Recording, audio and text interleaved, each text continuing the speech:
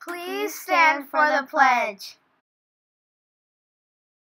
I pledge allegiance to the flag of the United States of America, and to the republic for which it stands, one nation, under God, indivisible, with liberty and justice for all.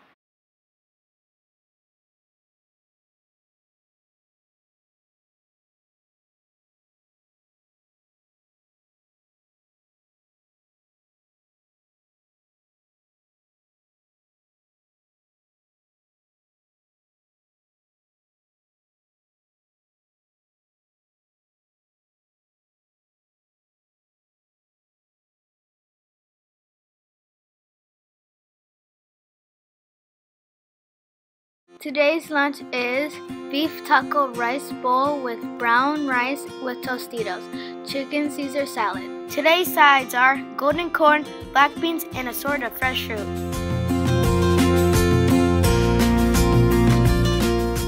Today's birthday is Kennedy H. Happy birthday!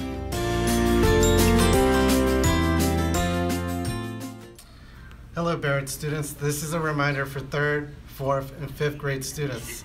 Last week I went into all of your rooms to talk to you about Pan-African Night. When I spoke about Pan-African Night, I also asked if anybody wanted to participate in our fashion show. Those of you who replied with a yes received this yellow form. Not many of you have returned the form. I need you to return the form so I know how many of you will be participating for Pan African Night. Don't forget, Pan African Night is February 27th, which is a Tuesday, but I need the form back by the end of next Friday.